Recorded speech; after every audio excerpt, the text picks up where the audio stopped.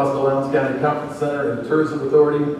There are two applicants for one position. First is Rick Olkers. He has expressed interest, he is currently on and expressed interest in being uh, reappointed. Thank you for helping me out. The other is Jamie Phelps, owner and operator of Able Strength LLC.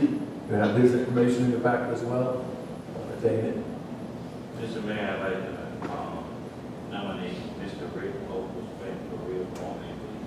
Second. Do I- do I hear any other nominations? Well, now we entertain a vote of Mr. Olkers.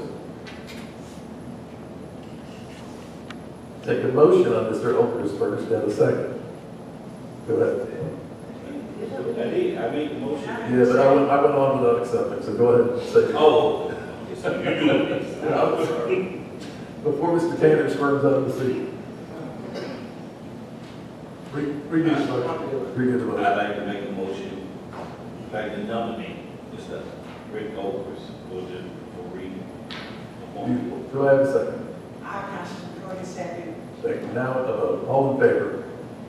Thank you. Did- Didn't want Mr. Olkers, who's in attendance, to hand it here. All right. He does a great